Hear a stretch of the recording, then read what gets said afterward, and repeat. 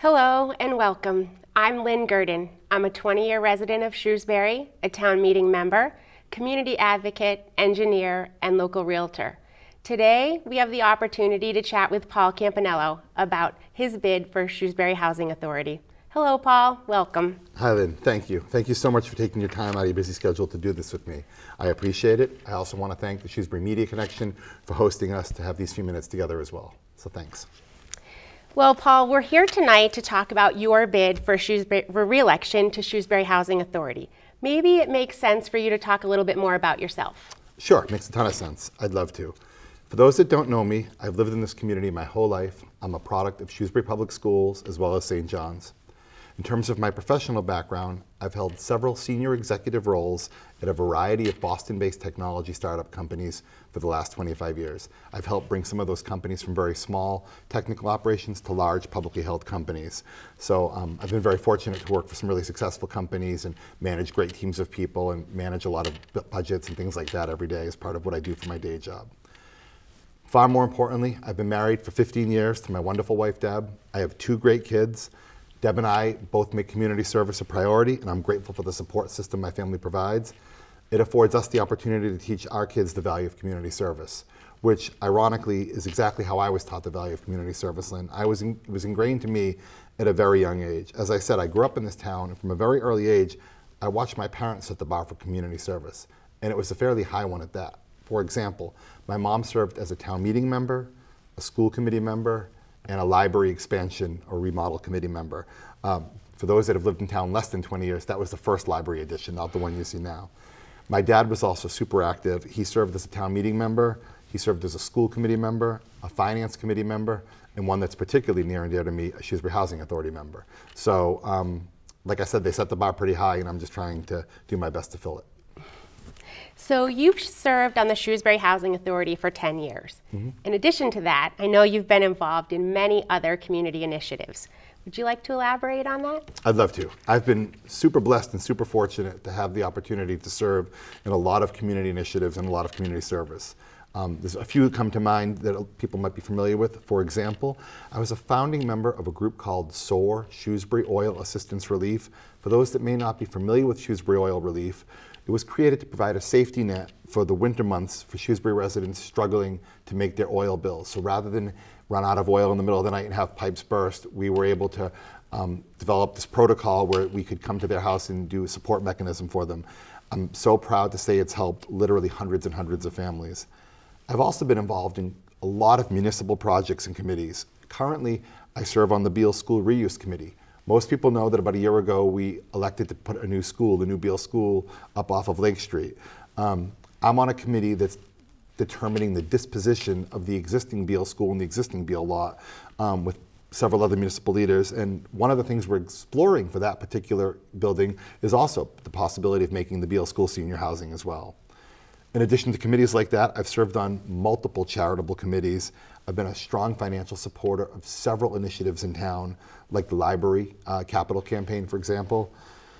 Um, additionally, I've been an elected town meeting member since way back in 1989, over 25 years ago. And finally, something I'm really proud of. Um, most people don't know this, but I lost my best friend to ovarian cancer uh, about five years ago now, and it had such a profound effect on me. I felt so helpless that I wanted to do something.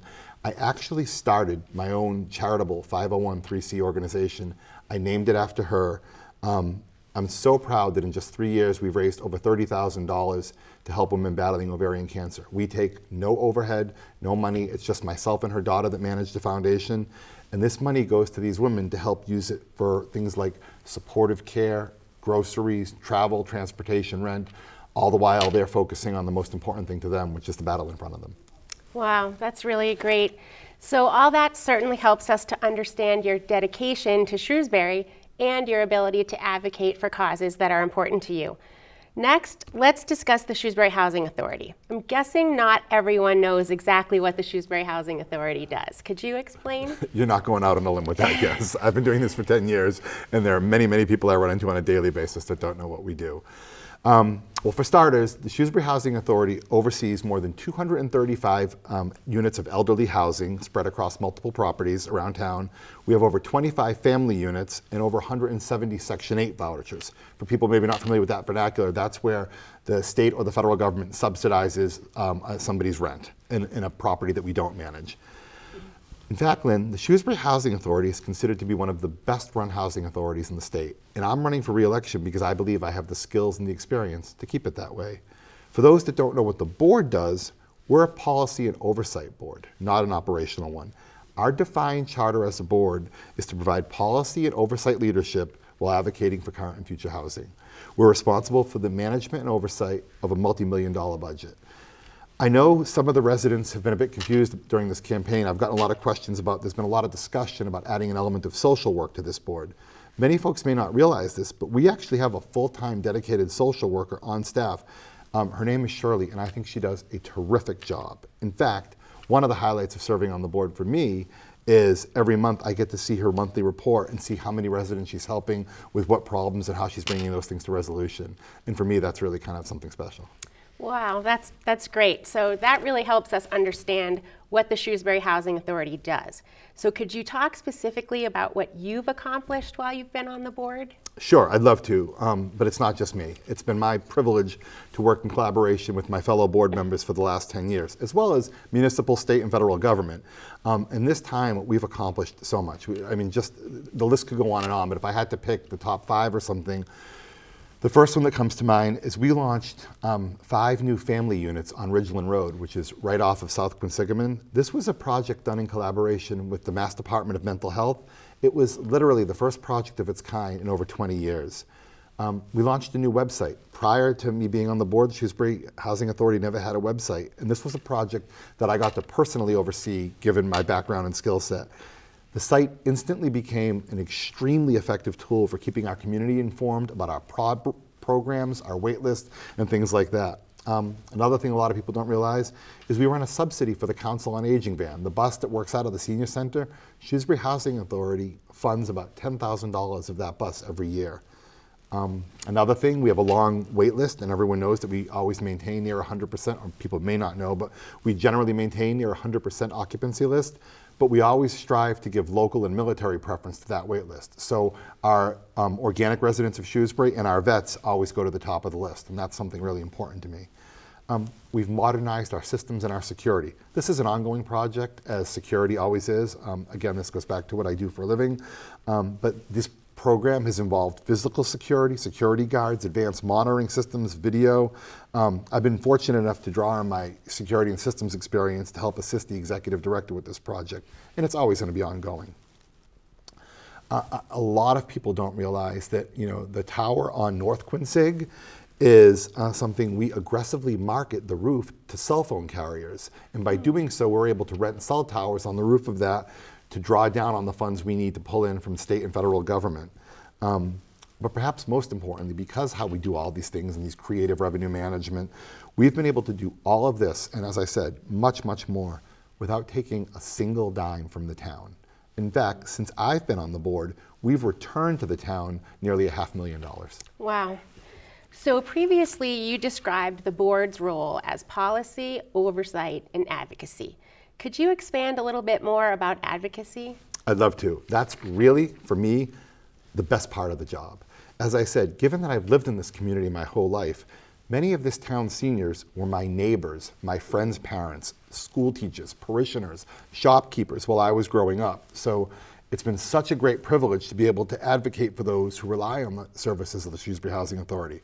I have an example, a little short story. Just the other day, um, I was at Francis Gardens, and my friend Mario came up to me and told me how happy he is that he's able to organize events in the community room and work the kitchen there. This was all as a result of the policy that the board created. I remember advocating for him and that policy in a meeting six months prior, and now every time I go there, as soon as I walk into the room, he uh, makes sure he hands me a hot cup of coffee. I usually take it and smile, even though I'm a tea drinker. so, what qualities do you feel are most important to be effective on the board? That's a really good question. I guess if I had to think about it, I'd say that there are probably four critical elements to being on the board or to being effective in this role, certainly. Uh, as I just mentioned with my story about Mario, compassion is the first one. You have to be able to want to advocate tirelessly for the folks in the community. Um, second, definitely is financial acumen. You need the business acumen and the business skill to responsibly manage a multi-million dollar budget, as I said, which I've been doing routinely as part of my day job for the last 25 years. Collaboration. This one is key. Doing this job effectively also requires collaboration from the rest of the board as well as town, city, and state officials. I've been working with our board for years, and I'm very proud to say I have the support of the majority of my board. The last um, is probably the most critical, which is experience. Again, I have a cute little story, not cute, but interesting story I'd love to share with you here. Um, as you all know, we had a federal government shutdown back in January. Well, right in the middle of the shutdown, we had a bit of an emergency at one of our buildings, our federal building, of course. Mm -hmm. This is the tower on South Quinsigamond behind Moe's, where we house approximately 100 residents. Well, we had a pipe burst on the top floor. It actually caused a flood, trickled down all five floors. It's the big, tall building. So in this case, the normal protocol would have been for our executive director, Kelly, to call HUD because it's a federal building, not a state one. Well, of course, the feds weren't answering their phones. So given the absence of federal government, and since I was the chair of the Housing Authority, I had to work closely with Kelly, our executive director, to ensure the safety of our residents. Fortunately, we were able to get our residents relocated, get the appropriate cleanup measures begun quickly, get the cleanup folks engaged, begin the repair process. Luckily, based on my experience and my relationships, it enabled us to do this all very quickly and move to a really expedient resolution. I still, Lynn, have a handwritten note that I received from one of the tenants of the tower thanking me for the board's swift action during that time. I mean, it's something I really treasure. Oh. Like the cliche says, there's really no substitute for experience. I'm running because I believe I've demonstrated all four of these skills compassion, business acumen, collaboration, and experience for the last 10 years. So, if you were to look back over the last 10 years, is there a particular favorite part of your role on the board that you've enjoyed? Um, that's a really good question. As I said, I, I, love the advocacy. It's probably the favorite part of the job. But for me, I guess the favorite part of being on the Housing Authority is really about the relationships. It's about the effective working relationships I fostered with not only the board, but as I said, other municipal leaders, some who've become close friends, but it's also the relationships I've developed with the residents. It's funny, kinda, it's good in kind of a funny way that in a nice turn of events, advocacy can sometimes become friendship. As a lot of folks know, um, my older brother Mark died last year. He was very well known in town. He was a very popular guy. It was very sudden, very tragic, very unexpected. Then, when it occurred, I obviously had a huge outpouring from family and friends, but I was shocked at the response from the residents of Shrewsbury Housing Authority. I had people calling me, sending cards, sending food, calling Kelly, asking for my home phone number, my home address, all with the outpour. So it's crazy. I've learned so much from the residents and I've developed so many great relationships. So I guess the best part of it for me has been the relationships.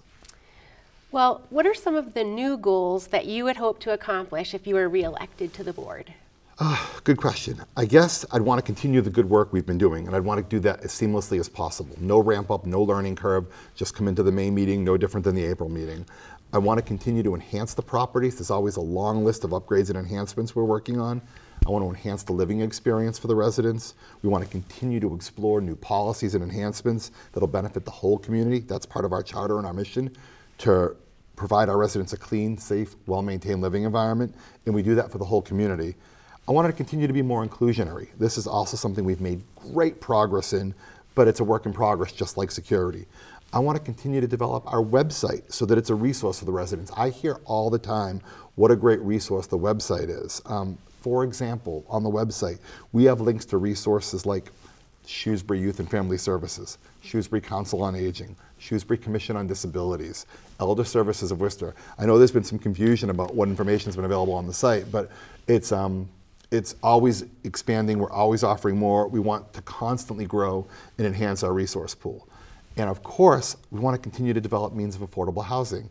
In fact, just this week, I've been on the phone with the selectmen and attending a selectmen's meeting about advocating for the planning department's new affordable housing trust. This is a program that the planning department has worked in conjunction with the Shrewsbury Housing Authority that it, are in close collaboration that is now going to the selectmen for approval, which I'll advocate for them.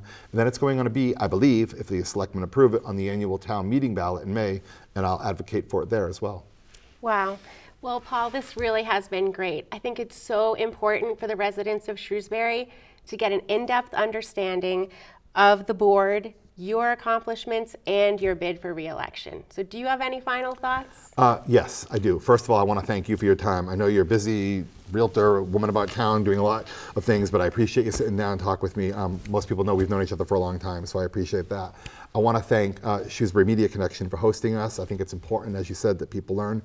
And I guess I really want the residents of Shrewsbury to know that I'm running for reelection because I believe serving the seniors and less fortunate members of our community for the last 10 years has taught me how critical it is that this position be held by someone who is compassionate and has demonstrated proven, balanced leadership.